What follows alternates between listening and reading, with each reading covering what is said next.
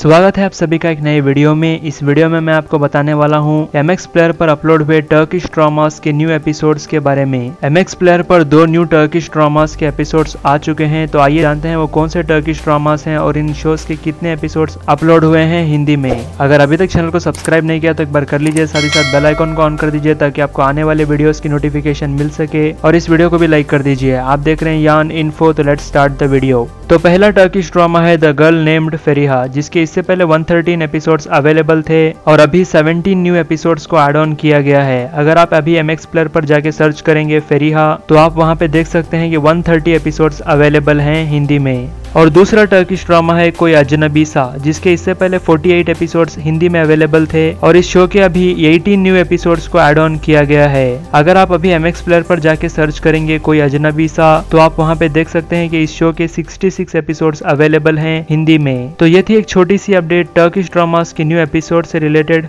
ऐसे ही अगर आप आने वाले टर्किश ड्रामास के एपिसोड के बारे में जानना चाहते हैं तो इस चैनल को सब्सक्राइब कर लीजिए और साथ ही साथ इस वीडियो को भी लाइक कर दीजिए थैंक्स फॉर वॉचिंग